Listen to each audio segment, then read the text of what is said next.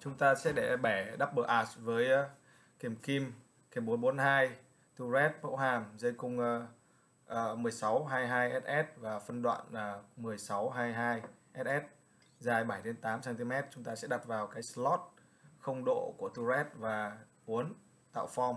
Uốn bên này thì chúng ta sẽ giữ bên kia và uốn đều hai bên là trên turret uh, ờ, khe không độ. Chúng ta đánh dấu điểm giữa của dây cung phân đoạn phía trước để cho bốn răng cửa chúng ta sẽ đặt lên mẫu hàm và căn chỉnh với đường giữa của cái răng.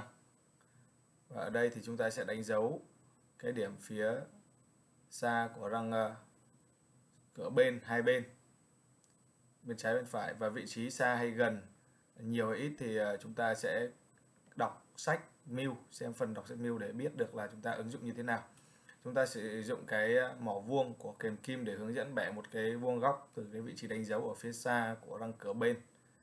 À, chúng ta làm tương tự à, với hai bên. Chúng ta sẽ bỏ bẻ vuông góc lên ở điểm đánh dấu phía xa của răng cửa bên bằng kềm kim bẻ vuông góc 90 độ. À, chúng ta kẹp kìm theo chiều trên dưới để bẻ. Và chúng ta ướm cho song song.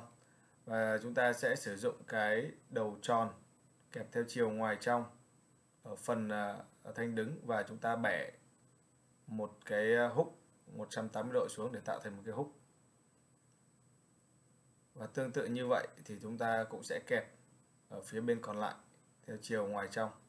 Nó cách phần thân kềm đặt cách phần thân à, chính khoảng à, 1 mm và chúng ta bắt đầu bẻ vuông góc bẻ à, xong đó thì tạo uốn 180 độ tạo thành húc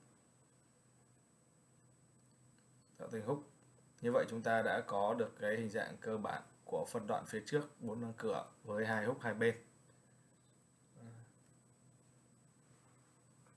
Và chúng ta sẽ sử dụng kềm cắt xa để chúng ta sẽ cắt cái phần à, dây cung thừa của phần húc này. À, chúng ta sẽ lưu ý là kềm cắt xa phải hết sức tốt bởi vì đây là dây cung SS1622 và đây là phân đoạn phía trước bốn răng cửa của bộ dây cung đôi double arch. Chúng ta sẽ cắt dây thừa ở hai bên.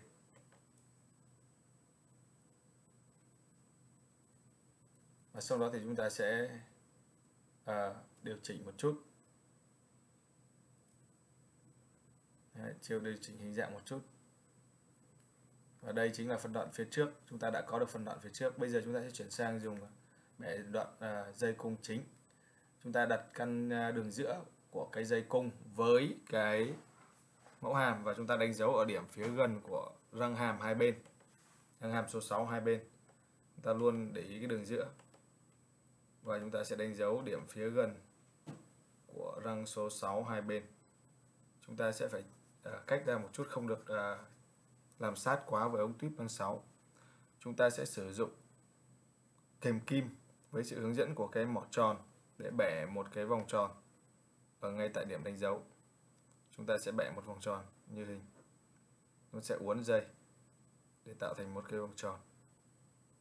Tại điểm mà chúng ta đã đánh dấu với cái sự hướng dẫn của cái mỏ tròn, chúng ta uốn dây và xoay kềm xong rồi uốn dây, xoay kềm ta uốn tiếp, đẩy lên. Thế cho nên sẽ hơi khó khăn một chút, chúng ta sẽ tạo ra một cái góc tù. Góc tù ở đây. Và chúng ta sẽ bẻ tương tự với bên còn lại ta sẽ bẻ tương tự với bên còn lại để tạo sự đối xứng hai bên, chúng ta cũng sẽ sử dụng cái mỏ tròn kẹp chặt giữ uốn dây, xong đó thì xoay kềm rồi uốn dây, xoay kềm, uốn dây. Hai động tác ờ, rất là nhuần nhuyễn song song với nhau và chúng ta sẽ bẻ cho cái chân phía sau này nó đối đối xứng hai bên. Và chúng ta có thể kiểm tra nó ở trên cái mặt phẳng. Khi đặt lên mặt phẳng, chúng ta sẽ điều chỉnh cái sự cân xứng của hai bên và kiểm tra trên mặt phẳng xem thử nó đã đồng đều chưa. Đã có sự đồng đều hay chưa.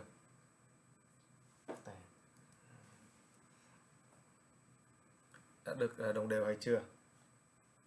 Và chúng ta đặt trên mặt phẳng. Chúng ta có thể cầm dây cung lên để ngắm từ một phía từ một bên và nhìn xem cái sự đối xứng của cái chân dây ở hai bên. Chúng ta sử dụng cái kềm uh, kim và kẹp vào cái helix này. Chúng ta sẽ bẻ ra phía sau một góc vuông vuông góc với cái phần chân này. Bẻ vuông góc 90 độ với phần chân. Và chúng ta sẽ được một cái uh, dây cung có sự, và chúng ta sẽ kiểm tra sự cân xứng của dây cung hai bên cân xứng của helix. Đã, chúng ta đặt xuống mặt phẳng. Chúng ta kiểm tra sự cân xứng. Khi cái ờ, phần đuôi đi vào cái tuyếp của đăng 6 thì phần phía trước nó sẽ được ờ, uh, nhấc lên phía trên. Chúng ta cắt phần đuôi cắt phần đuôi đi vào tuyếp đăng 6 phần dây thừa đi. Chúng ta sẽ cắt phần dây thừa. Đây là dây SS16 22 dây SS16 22 chúng ta sẽ xem ờ, xét cái sự song song của cái chân răng. Chúng ta sẽ phải điều chỉnh cái chân cái chân chân chân lúc của cái chân à, của cái dây cung cái đuôi dây cung. Phần này nó sẽ phải song song. Nó sẽ song song. Và chúng ta ướm nó lên trên cái mẫu hàm với sự hỗ trợ của cái băng keo. Chúng ta sẽ nhìn thấy là cái dây cung này nó được vách lên phía trên. Đó là phần dây cung chính. Còn đây là phân đoạn phía trước của bốn răng cửa. Chúng ta sẽ có hai húc để uh, treo vào cái dây cung chính. Và từ cái vị trí này chúng ta sẽ uh, đưa cái phần thân của cái phân đoạn này vào bốn răng cửa. Như vậy đây là một cái bộ uh, dây cung đôi double arch.